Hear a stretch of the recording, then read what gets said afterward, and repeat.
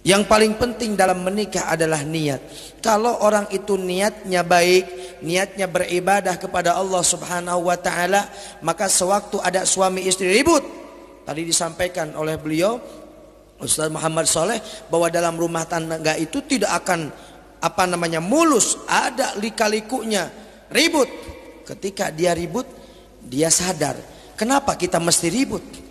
Kita menikah untuk ibadah, kita menikah untuk saling membantu, mendekatkan diri kepada Allah, saling mengingatkan ketika suaminya kejablasan, misalkan di waktu subuh ada yang membangunkan. Siapa? Is istrinya. Ketika istrinya kejablasan karena tadi malam nyusuin anaknya rewel, bapaknya tidur terlentang nangkarak enak ya.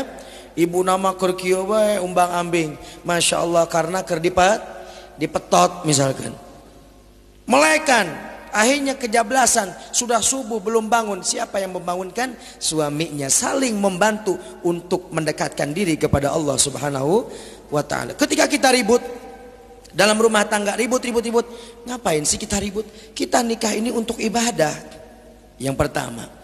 Yang kedua, niat menikah itu untuk apa? Untuk mengikuti sunnah Rasulullah Sallallahu Alaihi Wasallam dan juga syiarul aulia para wali semuanya menikah, para anbiya semuanya nikah sekalipun ada satu nabi yang belum menikah tetapi nanti ketika sudah turun ke dunia ini akan menikah. Semua para nabi menikah. Sekalipun ada al ulama ul uzab, ulama-ulama yang bujangan.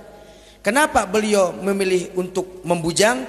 Karena beliau sibuk istighal bil ilmi, sibuk dengan ilmu sehingga nggak keburu apa? nggak keburu menikah tapi kalau bapak ibu nganggur, ya uang ada buat nikah, buat biaya maharnya, bukan bukan bukan buat biaya walimah kayak gini.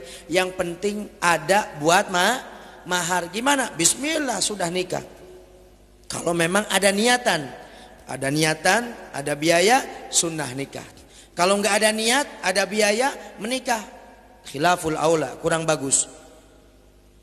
Kalau misalkan ada orang nggak niat sama sekali untuk menikah, ya kalau memang dia bisa ibadah dengan khusyuk tanpa menikah, itu lebih baik bagi orang tersebut beribadah khusyuk tanpa menikah. Tapi kalau kita ibadah jarang, sholat cuma lima waktu doang, lihat cewek-cewek yang cantik di jalan, oh masya Allah, nafsu gimana? Kawin, ya nih nikah sudah. Ini lebih afdal menikah karena selamat dari apa? Dari zi, zina. Nauzubillah min min dalik.